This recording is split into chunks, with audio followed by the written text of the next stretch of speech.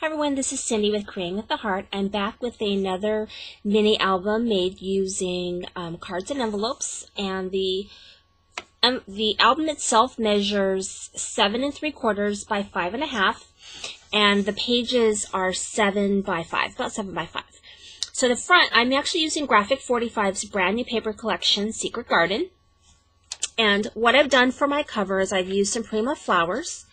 I also um, cut out on another sheet of the same paper the fence, which I've then attached and kind of left the top part open so that I could stick down um, in the fence post this little um, quote. So it's very cute. It says, And the secret garden bloomed and bloomed, and every morning revealed new miracles. Frances Hodgson Burnett, Secret Garden. So, and then I included this Melissa Frances resin um, birdhouse, and I've attached all of this with hot glue, so it's to stay forever. This is uh, some purple trim. I used some shabby chic flowers there for the spine, and then the back is finished off with some more purple um, trim there. Okay, so let's open up the album, and I have adapted um, the mini envelope tutorial. I've kind of adapted it to my own specifications. I do a different, little bit different assembly so that it just has a very clean look. I have a hard spine versus a soft spine, which the original tutorial from Kathy Orta calls for a soft spine because of how it's constructed. And so I don't have the flaps, so it's very clean here. I got a little flower there. And then I have lots of these uh, pullouts where I use the cards.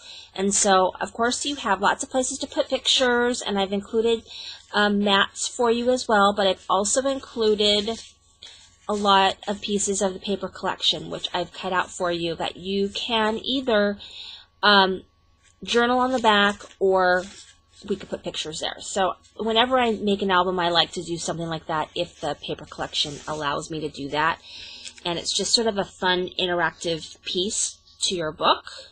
So a lot of times when I buy a collection, if it doesn't come with journaling tags or things to cut out, I'll buy the chipboard or buy you know the the stickers that go with it so that I can have some of that or tags if it comes with it because it's kind of nice and it does make it interactive. So here's the next um, page and I kind of created a little place there so, of course, you could stick a mat or a picture here. Um, I just kind of cut out these little pieces because I just thought they were really pretty. So, got a lot of these fun places for journaling or for tags, and they're just pretty. put that in the front because it looks nicer. And so we've got our purple side, and then we open this, of course. We have this quad mat, and I like to put it back as I go along so that everything stays neat and tidy. Okay, so we have, of course, I didn't mention in this one, we also have the tall tag here. And then I created a pocket here with some more um, cutouts from the collection as well as a full-size mat.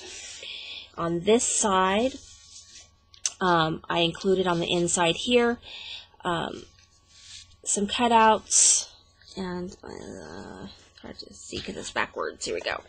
So when I pull this one out, you can see it's, I kind of taped a little bit of the tag here. So I think it just looks really nice. And it's got your, it, you have your pockets right here. So I, I love how this album came out, mainly because I think the paper collection is really beautiful. Um, Graphic 45's paper is just beautiful. So it makes a beautiful album. So we've got this. It opens up, of course, into your, your quad mat. So you can see that. And then I've got a pocket here, and it's got a mat as well as some full-size um, cutouts from the paper collection, which you could, of course, put pictures on it. You can leave it as it is. You could journal. So here we go here and it just kind of continues. Lots and lots of fun tags and things. And so then this one over here, you have pull outs here. I'll put that minute. And just fabulous, fun.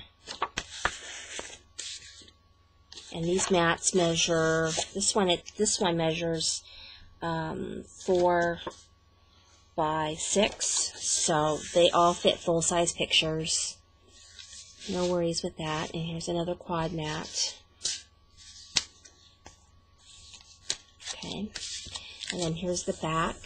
And then the very back has some shabby chic flowers, which I think a picture right here between the flowers would be really beautiful. So thank you for watching. This is Cindy with Cream.